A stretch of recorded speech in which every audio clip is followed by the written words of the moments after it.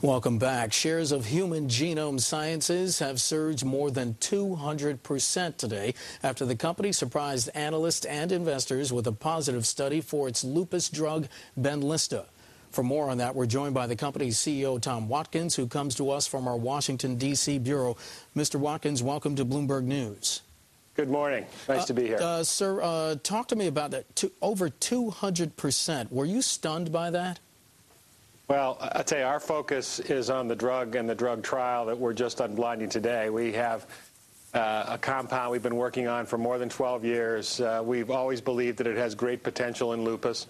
And today's results uh, are excellent news for the 1.5 million lupus sufferers in the U.S., roughly 5 million worldwide, that a possible drug, a drug for lupus, uh, could be here uh, within the not too distant future. We're very, very excited about the results. Mr. Loop, um, um, I'm sorry, Mr. Watkins, excuse me. Why has it been so difficult to develop drugs for lupus? You, you mentioned a, a lengthy period of time.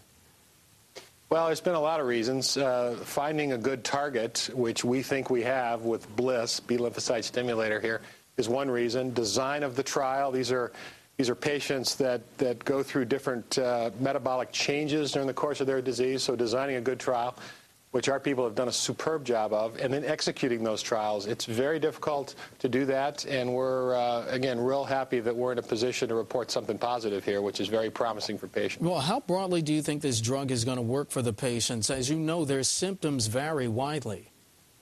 Well, there's two things about this trial that are very positive. Uh, as I said, 1.5 million lupus patients roughly in the U.S., about 5 million worldwide. There is clearly a difference between what our drug offered in terms of, of efficacy in this trial. And secondarily, but very importantly, the reduction in steroid use that we, we saw in this trial. A lot of these patients that are lupus sufferers are treated with steroids. Uh, steroids have uh, terrible side effects, particularly used on a long-term basis. So the thought that we're offering both an improvement in efficacy and lower steroid use, either one of those alone is important. Both together are just terrific. So we're we're very excited. Why did so many people doubt the drug? Is it because of those failed tests in the past? Yeah, I think the skepticism is understandable when you consider there has not been a new drug approved by the FDA in over 50 years.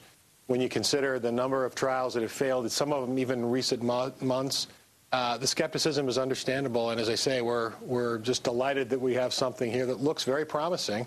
Uh, and now we have a second trial that will unblind in November. That trial is exactly the same as the trial that we are unblinding today. It's just in a different area of the world, different geographic area. So our confidence that that trial will also show similarly good results is very high. Sir, do you think that you could still get FDA approval if only one of these trials is successful?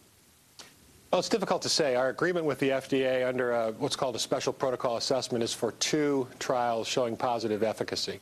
And that's our focus. Uh, but we're, as I say, confident based on these results that the second trial uh, uh, will show a good positive result, and we look forward to taking uh, what we hope are two good trials to the FDA uh, and other regulatory agencies early next year for approval. Uh, do you have anything else in the pipeline right now? We do. We are a company with multiple opportunities. We have a hepatitis C drug that we call albuferon that we unblinded phase three results uh, some months ago. We're in the process of putting together a regulatory submission. Our partner on that drug is Novartis. And we have a, a, product called Abthrax that we've already supplied, begun supplying to the U.S. government. It's an anti-anthrax therapeutic. We supplied about $150 million of that product earlier this year. So between Benlysta, which we're partnered with GlaxoSmithKline, Albuferon, Abthrax, and some earlier stage products, we are definitely a multiple opportunity company. Mr. Watkins, in about 20 seconds, what should those who suffer from lupus take away from today's news? I think there's one key word, and that's hope. Uh, for the first time in decades, there's a positive phase three trial which indicates a higher likelihood that new therapies, not only from us, but let's hope from others as well, uh, can come in the, in the relative near term to help these patients. They're in desperate need of it. Tom Watkins, the CEO of Human Genome Sciences, joining us from Washington.